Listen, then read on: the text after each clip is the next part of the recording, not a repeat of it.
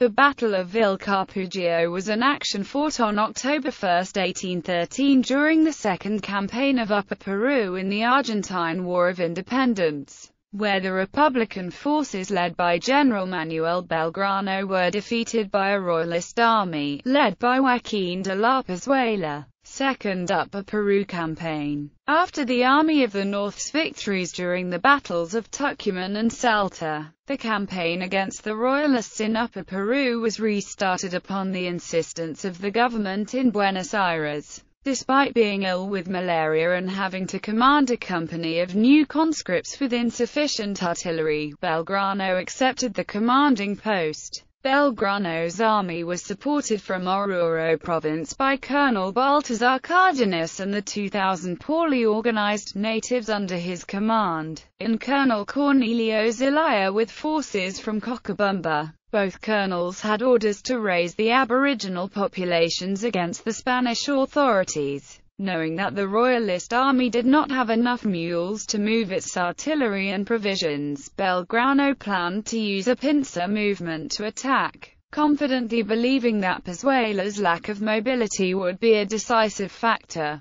The battle. At the end of September 1813, most of Belgrano's army arrived to the plain of Vilcapugio, a plateau surrounded by high mountains several miles north of Potosi. The Royalist troops were encamped further west at Condo Condo under the orders of Pezuela and Major Saturnino Castro, which allowed them to take by surprise and utterly defeat Cardenas native troops at Ancarcato, 23 kilometers north of Belgrano's headquarters. Castro also obtained documents from Cardenas giving instructions to Belgrano. With these documents Pezuela was able to interrupt Belgrano's plans and began his advance on the mountains on the 1st of October, long before Zelaya's cavalry from Cochabamba could join the Republican army at Vilcapugio. Belgrano's army veterans from the north contained the left flank and center column of the Royalist army and forced them to back down to the point that Pezuela had in mind, by a moment, to send a message to the Viceroy of Peru intimating that the battle had been lost.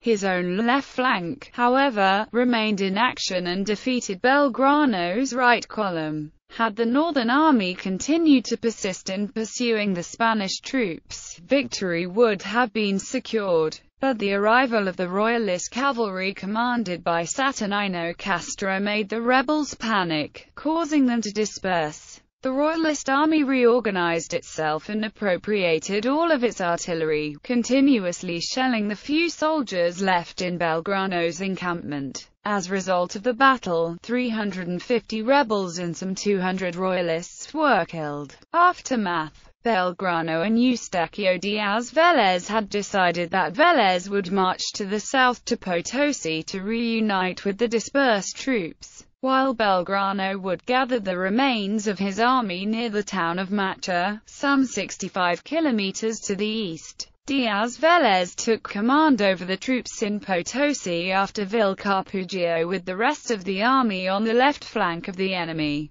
At this point the troops reorganized themselves to pursue the campaign of Alto Peru according to the orders from the government of Buenos Aires.